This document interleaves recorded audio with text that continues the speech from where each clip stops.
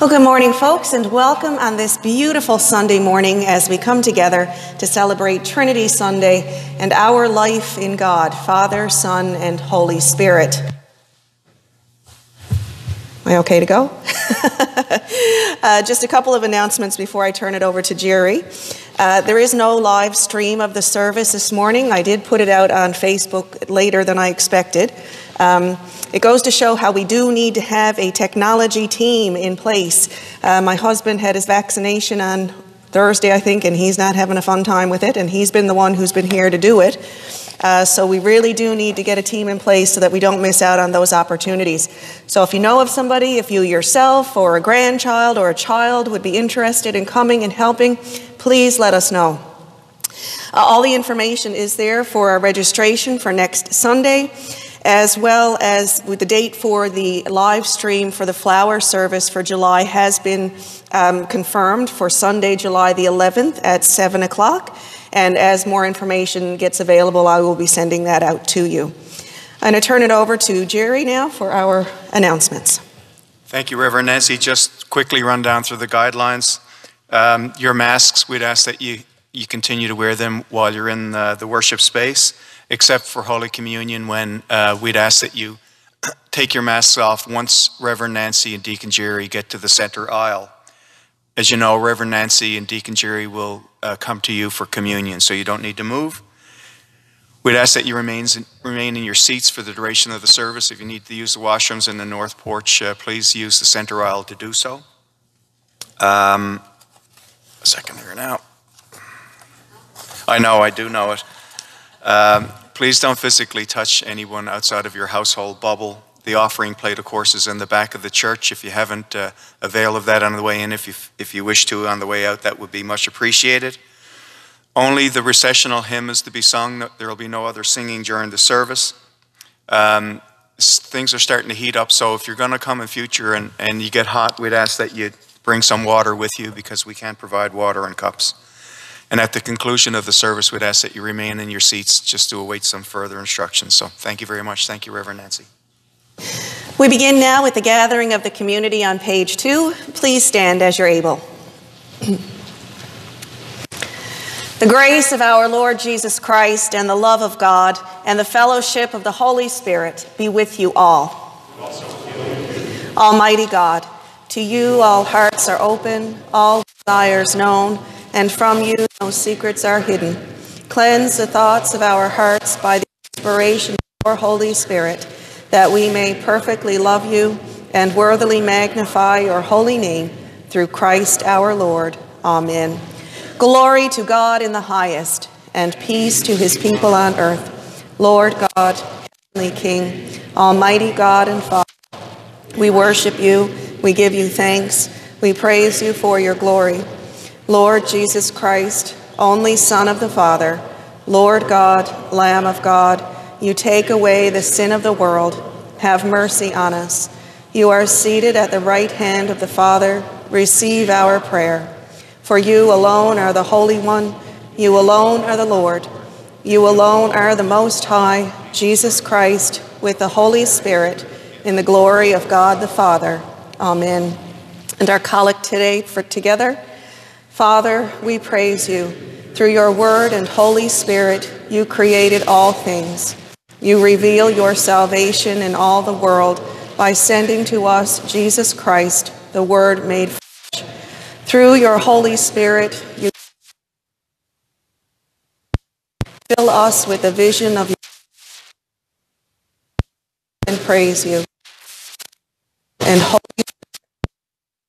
for Amen. Please be seated now for the proclamation of God's word.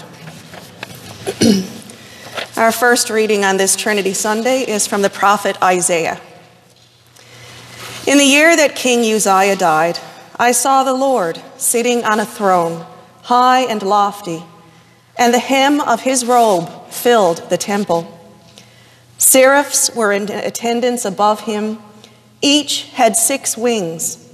With two, they covered their faces, and with two, they covered their feet, and with two, they flew. And one called to another and said, Holy, holy, Holy is the Lord of hosts. The whole earth is full of his glory. The pivots on the thresholds shook at the voices of those who called, and the house filled with smoke. And I said, Woe is me! I am lost, for I am a man of unclean lips, and I live among a people of unclean lips. Yet my eyes have seen the King, the Lord of hosts. Then one of the seraphs flew to me, holding a live coal that had been taken from the altar with a pair of tongs. The seraph touched my mouth with it and said, Now that this has touched your lips, your guilt is departed and your sin is blotted out. Then I heard the voice of the Lord saying, Whom shall I send? And who will go for us? And I said, Here am I, send me. This is the word of the Lord.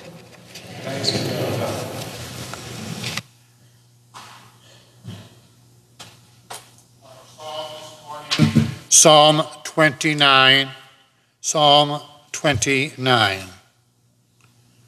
Ascribe to the Lord your gods, ascribe to the Lord glory and strength. Ascribe to the Lord the glory due his name. Worship the Lord in the beauty of holiness. The voice of the Lord is upon the waters. The God of glory thunders. The Lord is upon the mighty waters.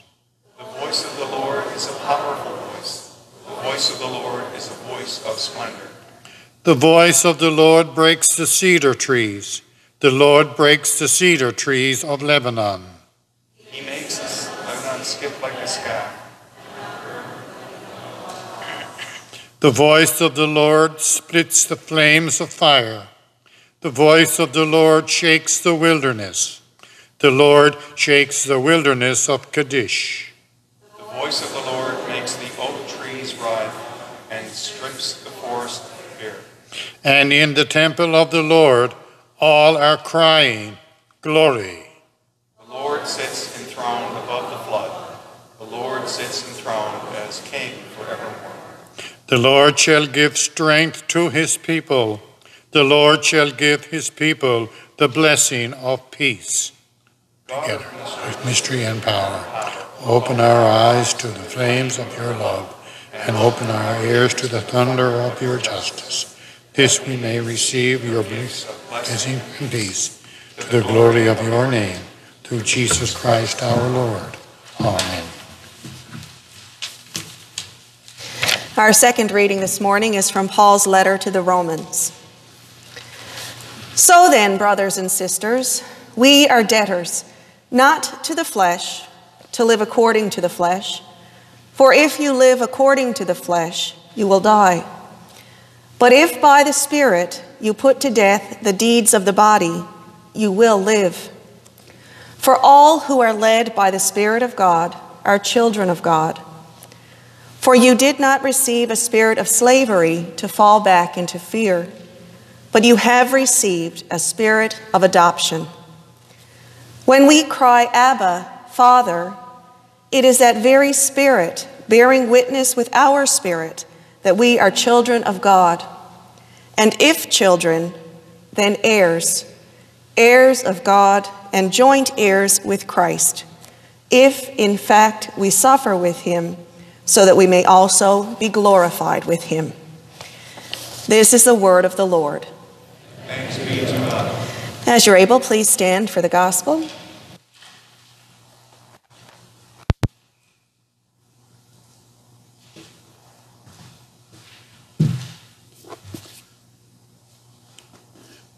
The Lord be with you. And also with you. The Holy Gospel of our Lord Jesus Christ, according to John. Glory to you, Lord Jesus Christ. Now there was a Pharisee, Nicodemus, a leader of the Jews. He came to Jesus by night and said to him, Rabbi, we know that you are a teacher who has come from God. For no one can do these signs that you do apart from the presence of God. Jesus answered him, Very truly I tell you, no one can see the kingdom of God without being born from above. Nicodemus said to him, How can anyone be born after having grown old? Can one enter a second time into the mother's womb and be born? Jesus answered, Very truly I tell you, no one can enter the kingdom of God without being born of water and spirit. What is born of the flesh is flesh, and what is born of the spirit is spirit. Do not be astonished that I say to you, You must be born from above. The wind blows where it chooses, and you hear the sound of it but you do not know where it comes from or where it goes. So it is with everyone who is born of the Spirit. Nicodemus said to him, How can these things be? Jesus answered him, Are you a teacher of Israel, and yet you do not understand these things? Very truly I tell you, we speak of what we know and testify to what we have seen. Yet you do not receive our testimony. If I have told you about earthly things and you do not believe, how can you believe if I tell you about heavenly things? No one has ascended into heaven except the one who descended from heaven, the Son of Man. And just as Moses lifted up the serpent in the wilderness, so must the Son of Man be lifted up, that whoever believes in him may have eternal life. For God so loved the world that he gave his only Son, so that everyone who believes in him may not perish, but may have eternal life. Indeed, God did not send the Son into the world to condemn the world, but in order that the world might be saved through him. The Gospel of Christ. Praise, Praise to you, Lord Jesus Christ.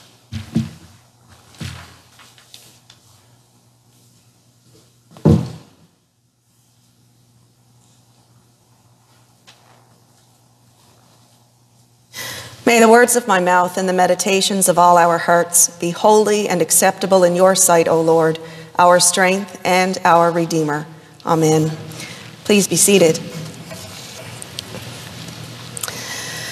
We speak of what we know and testify to what we have seen. These words from John's Gospel practically jumped off the page at me this week as I was trying to write this sermon for you on this Trinity Sunday. And the reason for that is though the word Trinity is well spoken in our church traditions as God, the Father, Son, and Holy Spirit, how the Trinity is explained is another matter altogether. I think I know what the Trinity is and what it means to me. And though I'm not sure that I have seen it in any one particular way, I've come to appreciate over the years that trying to nail down one clear definition of the Trinity is like trying to catch the wind or explaining to you how much I love my children. There are just some things that are hard and near impossible to do.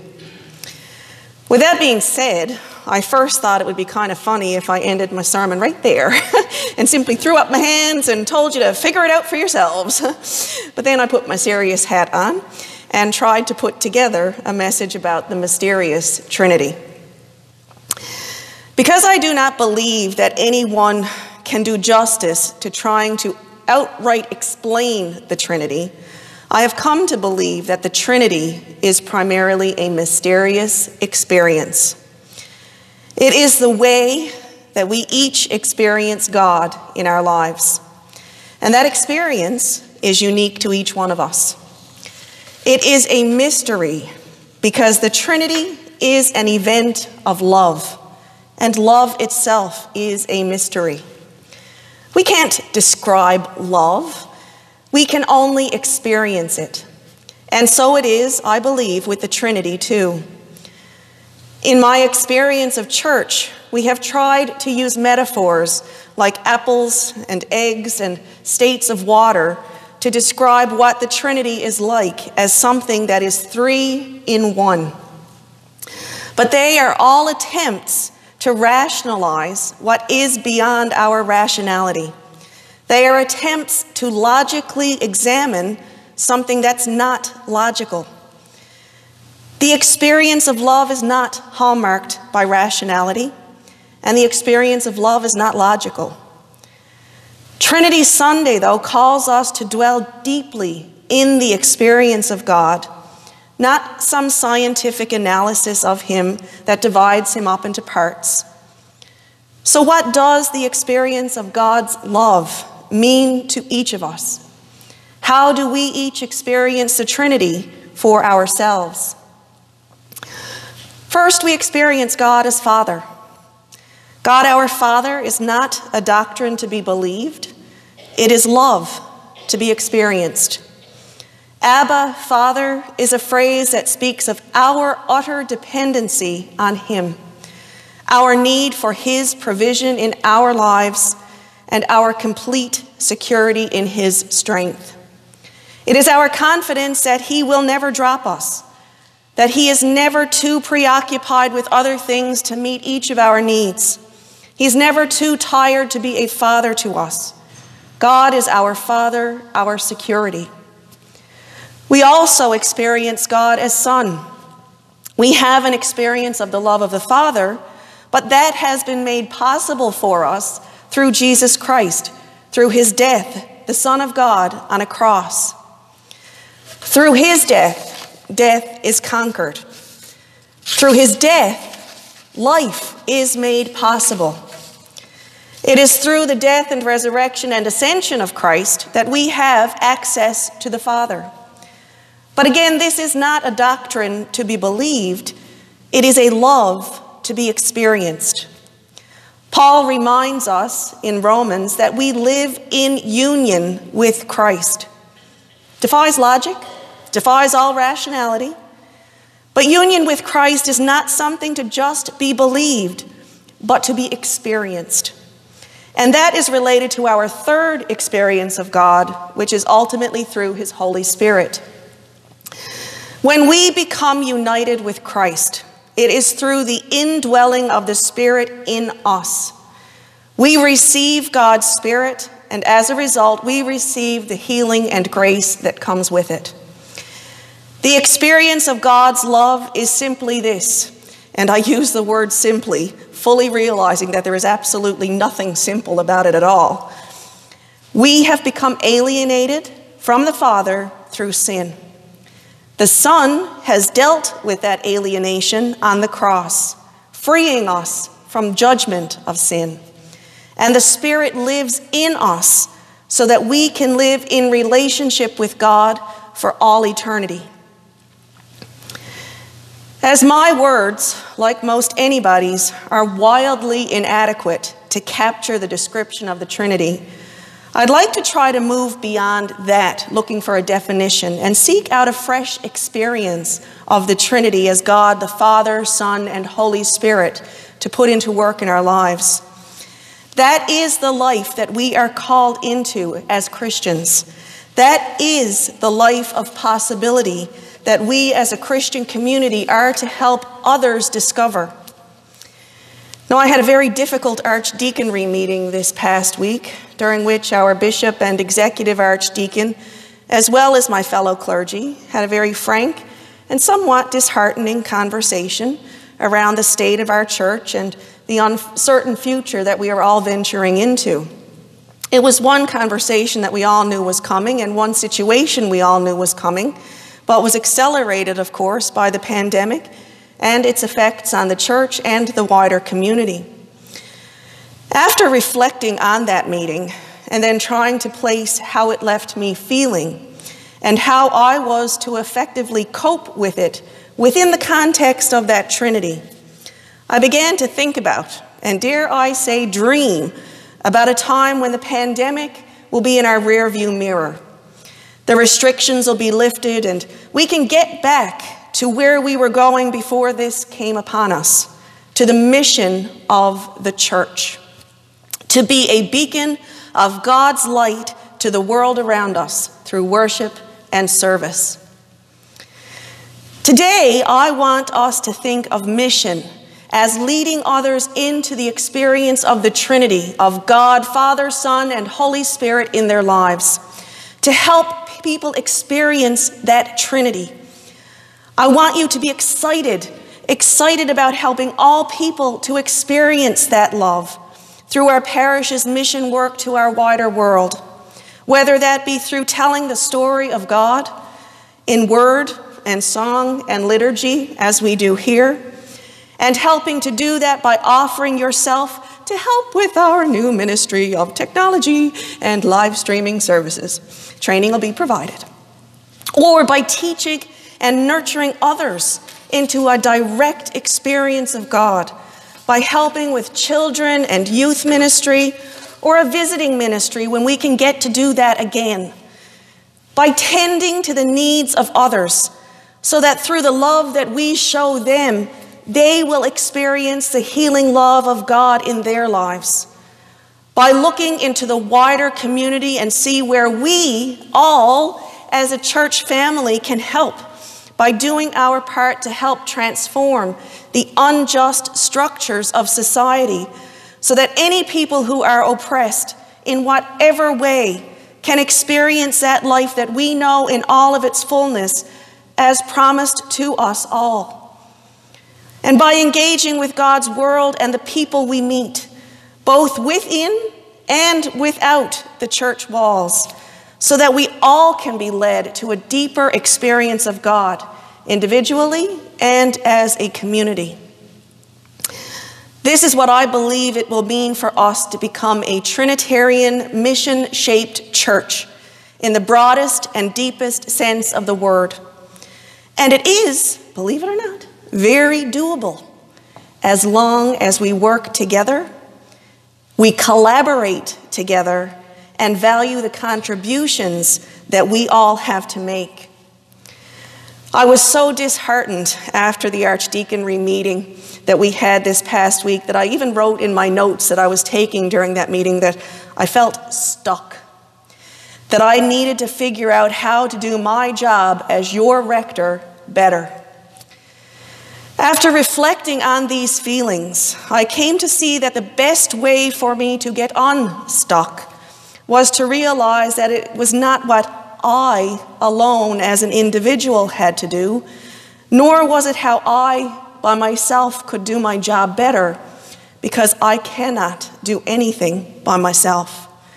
But it was instead how we how we experience this community that we call our parish, and how we all collectively, not just you bums sitting in the seats here, but all of us together, must lift each other up to work collaboratively and cooperate so that our Trinitarian faith means something more than just a celebratory Sunday sitting in a pew. Trinity Sunday calls us all to an experience of love, but one that stirs us, stirs our souls so deep into action.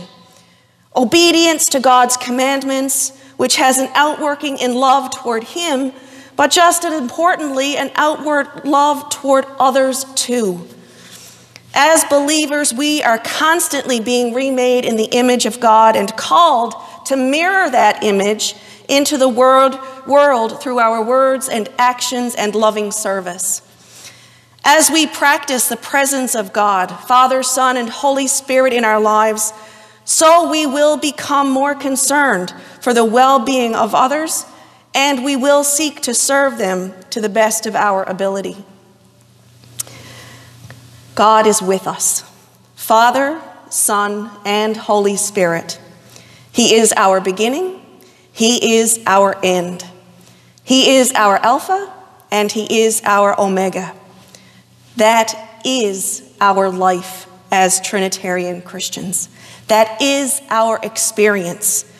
That is the experience into which we all are to lead others as a mission shaped church.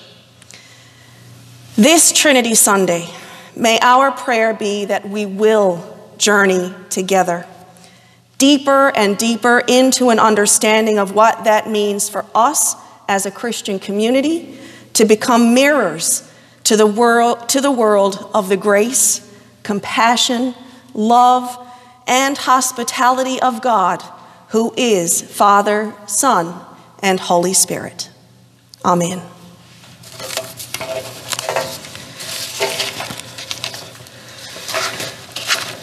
Our service continues now on page five. Please stand as you're able for the Nicene Creed.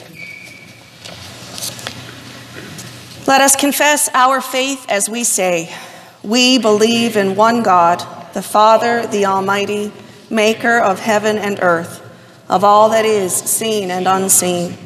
We believe in one Lord Jesus Christ, the only Son of God, eternally begotten of the Father, God from God, light from light, true God from true God, begotten, not made, of one being with the Father through him all things were made.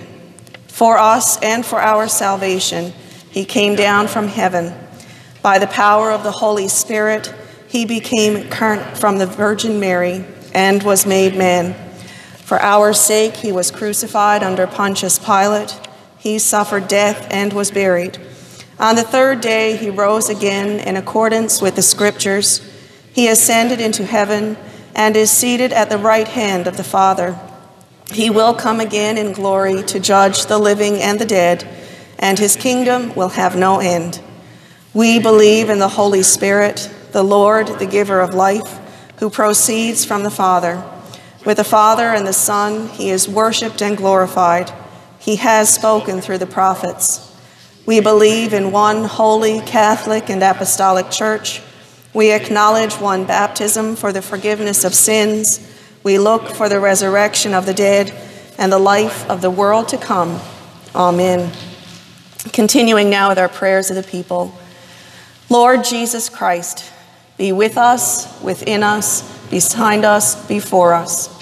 We bind ourselves, O God, today to the strong name of the Trinity, and we name you, three in one, one in three, and claim our place in your community of love. Be with us, within us, behind us, before us. We are embraced, loving God, embraced in the community that is the heart not just of our church, but also in the community that is the very heart of who you are. In our local church, we pray for the leaders and people from the parishes of Harbor Grace and Heart's Content. And in our global communion, we pray for the Anglican Church in Mexico, our Metropolitan David, Primate Linda, and the Archbishop of Canterbury. Three in one, Creator, Redeemer, and Giver of life. Within that great love, we are held and treasured. Be with us, within us, behind us, before us. We pray for our hurting world. Find food, that refugees will find shelter, that injustice will be answered with all that is right and good and that we will be able to see where we can do our part. Be with us, within us, behind us, before us. We pray for all who suffer, for those we love dearly, for those we barely know, for those whose suffering we have ignored, as we remember today the 215 little Indigenous souls buried at the residential school in BC, their families and relatives.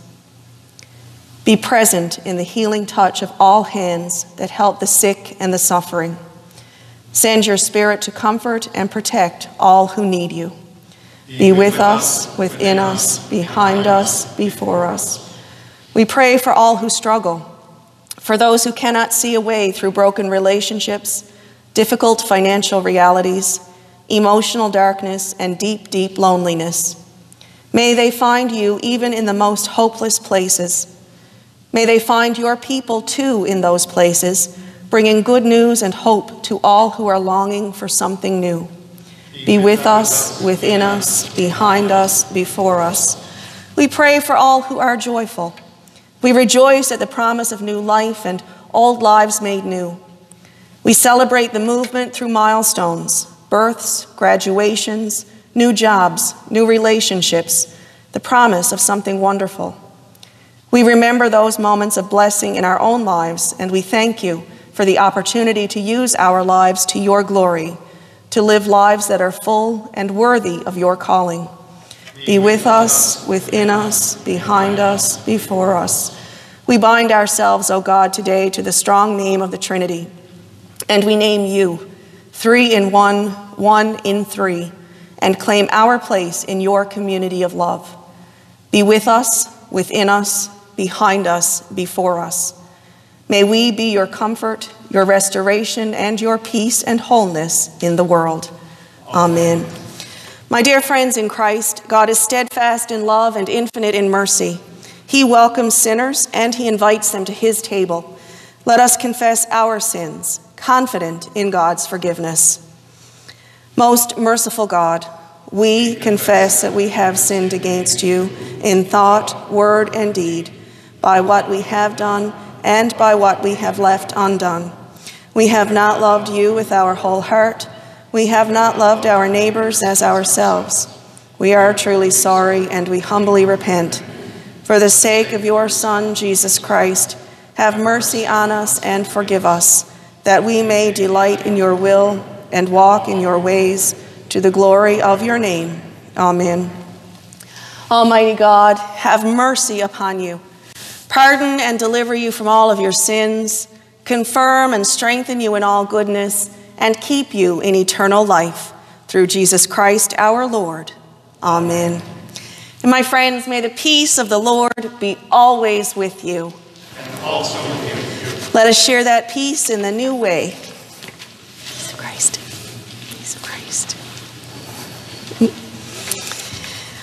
Once we've finished our greeting of each other, uh, you may be seated as the altar is prepared for the Eucharist and our offertory hymn is played Holy, Holy, Holy, Lord God Almighty.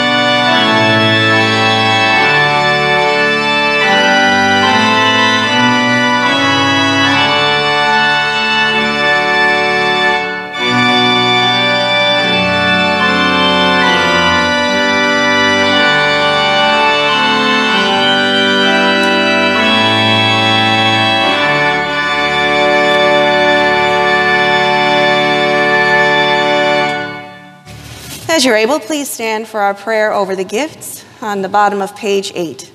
Let us pray together. Living God, receive all we offer you this day. Grant that hearing your word and responding to your spirit, we may share in your divine life. We ask this in the name of Jesus Christ the Lord. Amen. The Lord be with you. Lift up your hearts. Let us give thanks to the Lord our God. It is right to give thanks and praise. It is indeed right that we should praise you, gracious God, for you created all things. You formed us in your own image. Male and female, you created us. When we turned away from you in sin, you did not cease to care for us, but opened a path of salvation for all people. You made a covenant with Israel, and through your servants Abraham and Sarah, gave the promise of a blessing to all nations. Through Moses, you led your people from bondage into freedom. Through the prophets, you renewed your promise of salvation. Therefore, with them and with all your saints who have served you in every age, we give thanks and raise our voices to proclaim the glory of your name. Holy, holy, holy Lord, God of power and might, heaven and earth are full of your glory. Hosanna in the highest. Blessed is he who comes in the name of the Lord. Hosanna in the highest. You may be seated or kneel as you're comfortable. Holy God, source of life and goodness, all creation rightly gives you praise. In the fullness of time, you sent your Son, Jesus Christ, to share our human nature, to live and die as one of us, to reconcile us to you, the God and Father of all. He healed the sick and ate and drank with outcasts and sinners. He opened the eyes of the blind and proclaimed the good news of your kingdom to the poor and to those in need. In all things, he fulfilled your gracious will. On the night he freely gave himself to death, our Lord Jesus Christ took bread. And when he had given thanks to you, he broke it and gave it to his disciples and said, Take, eat. This is my body, which is given for you. Do this for the remembrance of me. After supper, he took the cup of wine. And when he had given thanks, he gave it to them and said, Drink this, all of you. This is my blood of the new covenant, which is shed for you and for many for the forgiveness of sins. Whenever you drink it, do this for the remembrance of me. Gracious God, his perfect sacrifice destroys the power of sin and death. By raising him to life, you give us life forevermore. Therefore, we proclaim the mystery of faith. Christ has died, Christ is risen, Christ will come again. Recalling his death, proclaiming his resurrection, and looking for his coming again in glory, we offer you, Father, this bread and this cup. Send your Holy Spirit upon us and upon these gifts, that all who eat and drink at this table may be one body and one holy people a living sacrifice in Jesus Christ our Lord. Through Christ, with Christ, and in Christ, in the unity of the Holy Spirit, all glory is yours, Almighty Father, now and forever. Amen. And now, as our Savior Christ has taught us, we are bold to say, Our Father, who art in heaven, hallowed be thy name. Thy kingdom come, thy will be done on earth as it is in heaven. Give us this day our daily bread, and forgive us our trespasses, as we forgive those who trespass against us. And lead us not into temptation, but deliver us from evil. For thine is the kingdom, the power, and the glory, forever and ever. Amen. We break this bread to share in the body of Christ. We, being many, are one body, for we all share in the one bread the gifts of God for the people of God. Thanks be to God.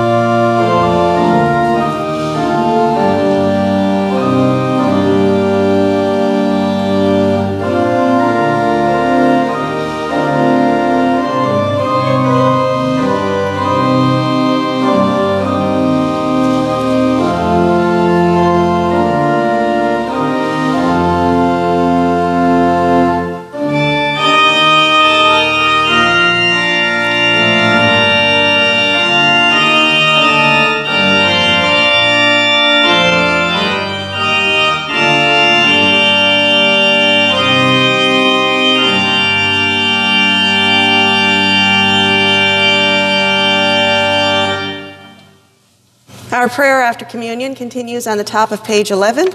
As you're able, pardon me, please stand.